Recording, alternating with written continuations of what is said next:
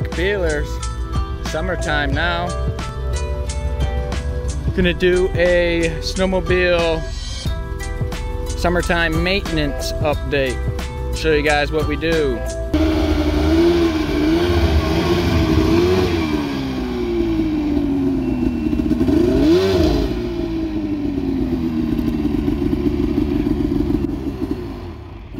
Turn up the grass.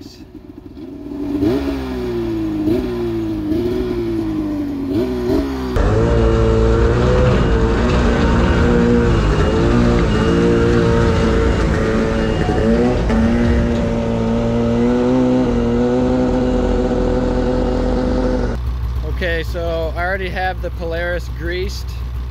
The leak, the coolant leak is fixed.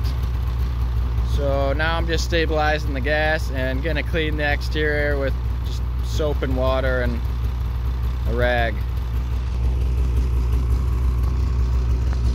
We got Fasha doing the yearly grease maintenance on the Arctic Cat.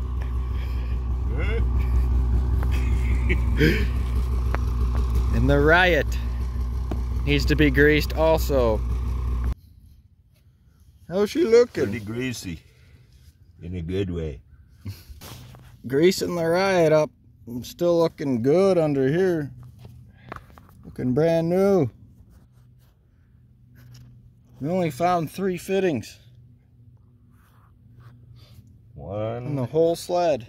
one, two, three. But Yep. you'd think there'd be more. We looked all over. Definitely should be one up here, but I believe all the air is out of the coolant lines.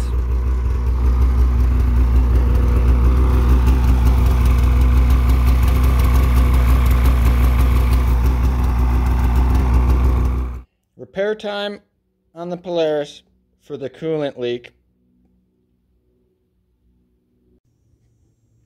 I pulled the bottom drain tube, drained as much as I could out. It's still kind of leaking, but yeah, as you can see, it didn't hold up. The weld kind of just split right down the middle and then gave way. Not good. Some JB water weld is all you need for this repair. There is the new patch I just put on. Gonna let it dry for an hour or maybe even overnight and then test to see if it leaks. I don't think it will now as it's summertime now. I'm not sitting in three feet of wet snow. Uh, there's a lot less coolant in it now so it's not dripping out of there. So that's the main reason is I have the sled on its side the other way now.